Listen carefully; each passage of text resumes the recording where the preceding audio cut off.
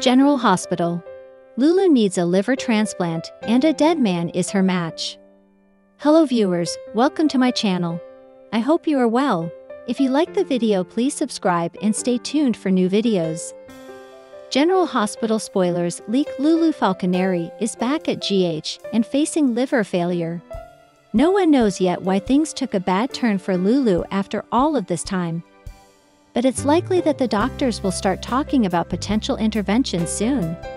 As everyone who ever loved Lulu gets screened as a match to assist in saving her life with a liver transplant, no one is likely to believe who will really come through for her in the end.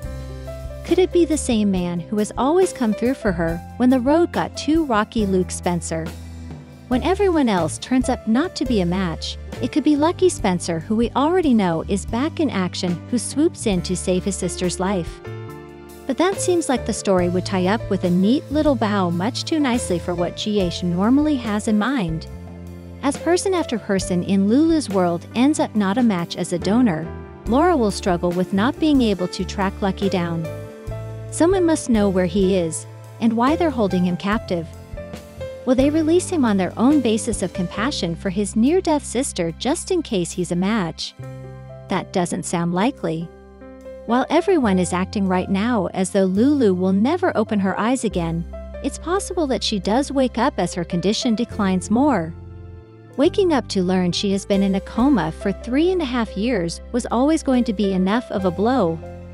But learning that she's dying is going to sting a whole lot more. What was the point of all of that time in a coma and healing just for it to end this way?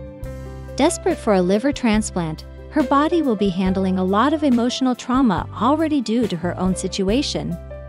So when Laura Collins has to tell her that her father died almost three years ago, it may only make matters worse and escalate her declining health.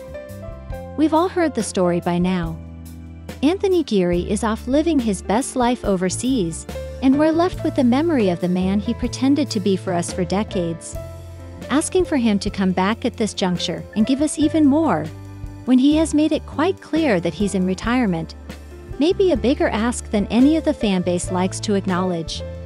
Still, we can't imagine that Luke went out like that off screen and he will never return.